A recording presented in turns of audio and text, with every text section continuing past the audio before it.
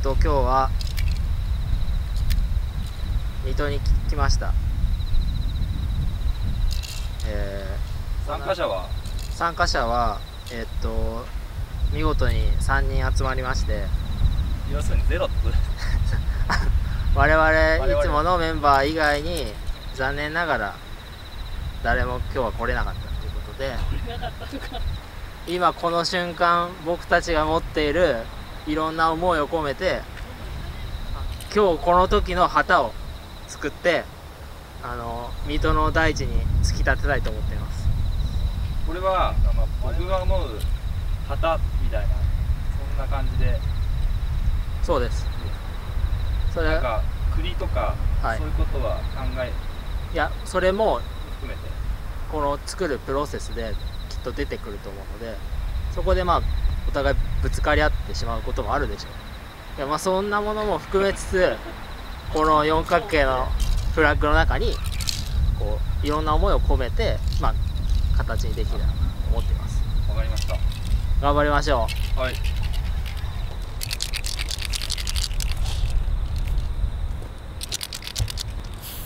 うおあ綺麗じゃん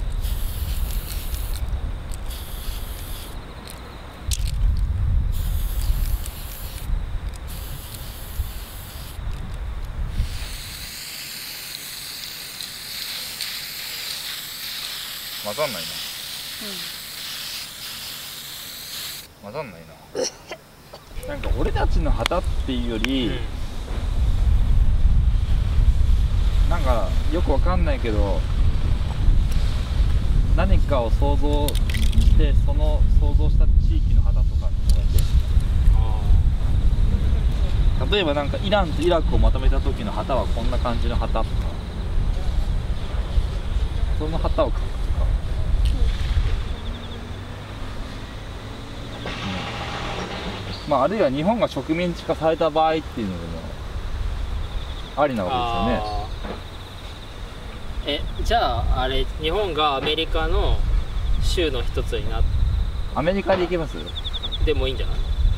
今別にそんな非現実的じゃないじゃん別にそじゃあアメリカの一番新しい州れとして日本がなった時うんの旗。旗。私日の丸は残したいんだけど。いや赤だな。黒じゃない？ねやっぱり俺もそう思ったんですよ。黒丸でしょ？黒丸さん発絶対そうでしょ。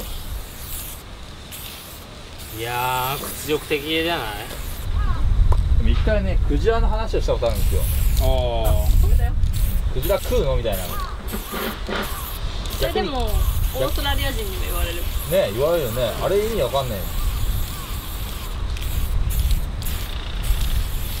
星は入れてああれは何なの？あおあれは哺乳類だからあんなそうそうそうそう。にってこと人間食ってるみたいな知能がある。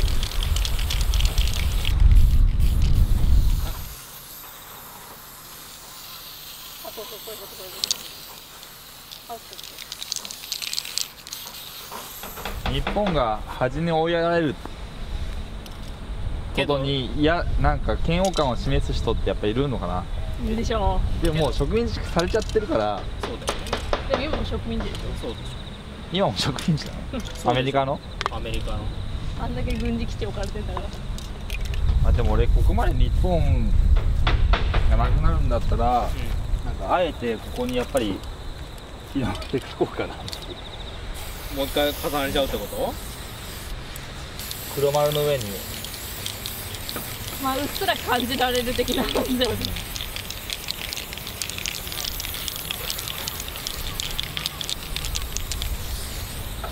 日本正直どうでもいいですけど日本人としてとかはどうでもいいですけどでもなんかこう植民地化をすんなり受け入れちゃうんじゃなくて、抗っていこうと。うん、抗っていくっていうのもそのための日本の国旗っていうんだったらまた意味が違ってくるんじゃないのかな、でも別にさ日本は州になったとして掲げる国旗は日本の自由なわけじゃん。どうなの？そこは分かんない？じゃあ俺らは大麻合法にしようよっていう。そこだけ？やっぱりだって大麻合法の州あるでしょ、うん。医療大麻合法、日本もやっぱりそこを医療大麻合法にして週になった途端ご合法になるもちろん。じゃああれはゲイとレズビアンの結婚オッケーもちろん OK でしょ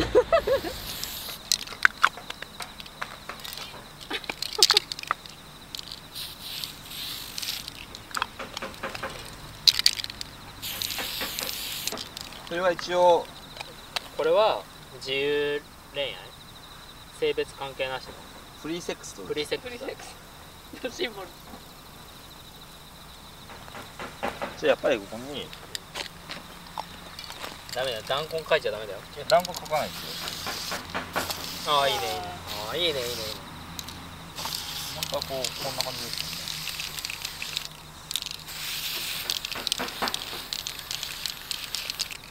でも要するに国っていうのは何でもありがまあ基本。なんかいろんな薄い要素とか厚いものも全部が重なるもんどんな時だって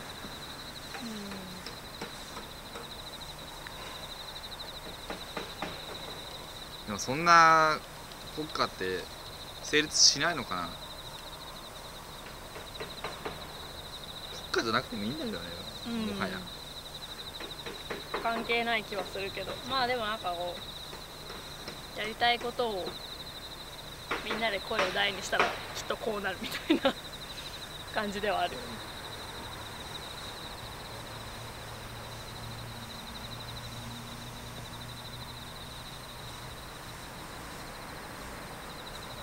もう掲げるってこと？わかりました。走っていくよ。どうぞ。はい。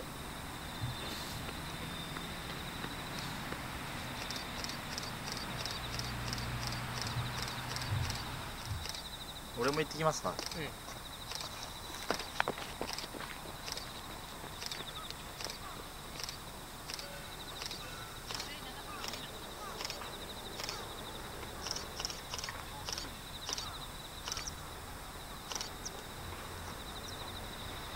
さこのポッキー燃やさない燃やせるかな。ってさ日本人燃やさないじゃん。うん。ポッキー日本人燃やさないでしょ？燃やさない。でも58番目の州だったら燃やしていいんじゃないのかな。なるぐらいならね。うんなるぐらいだったら燃やしていいんじゃないのかな。日本にも属したくないけどアメリカにも属したくないみたいそうそれは言えてる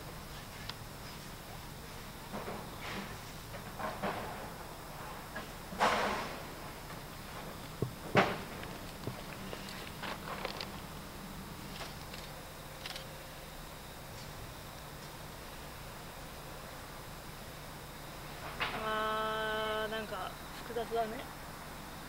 あそうだ。なんか。国旗燃やすって初めてだな。いやなんかこうやってあったものが失われるみたいな。